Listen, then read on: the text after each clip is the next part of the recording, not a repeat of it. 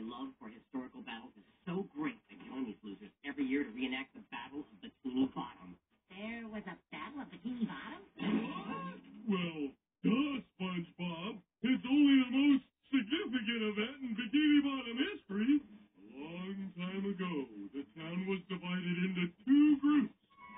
Those who spent all their time washing their hands like puppies, Clean as a whistle. and those who had more important things to do with their time.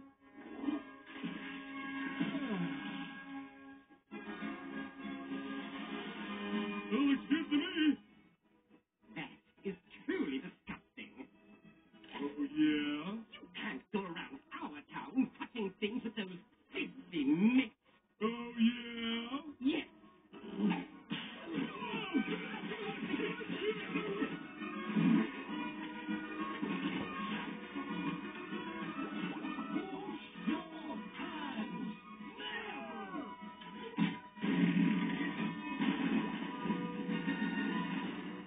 And